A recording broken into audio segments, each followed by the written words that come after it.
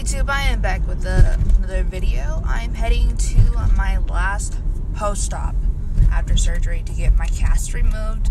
They're going to do updated x-rays to see how well my foot internally has healed over the last six weeks since surgery and then transition me into a boot and then kind of see where it kind of goes from there.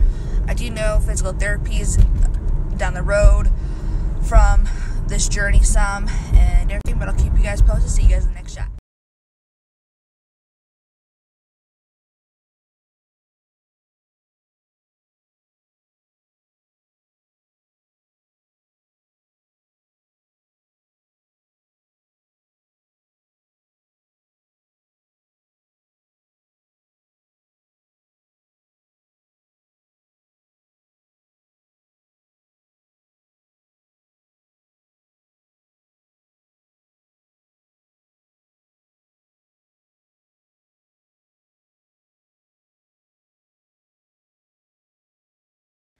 So they just took off the cast and did x-rays. It wasn't a damn if I made a video record that, but this is what my foot looks like six weeks after major foot surgery for a joint fusion.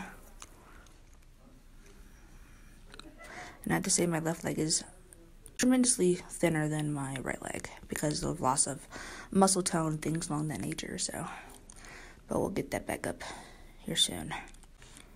Catch you guys in the next shot.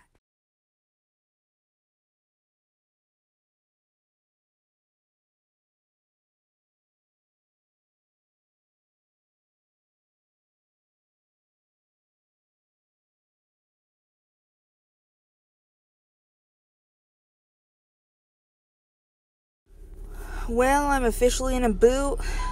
Two more weeks, no weight bearing. Then the two weeks after that, I can stand on my foot while brushing teeth, etc. And then the following two weeks after that, I can start walking on it some. And then I have a follow up in six weeks from now. Thanks for watching. Please like, comment, and subscribe, and stay tuned for future videos like this.